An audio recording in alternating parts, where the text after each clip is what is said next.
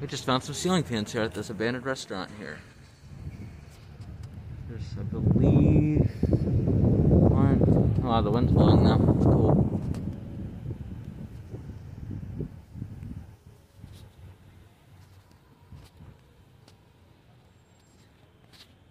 So I guess we did found some ceiling fans at the mall after all.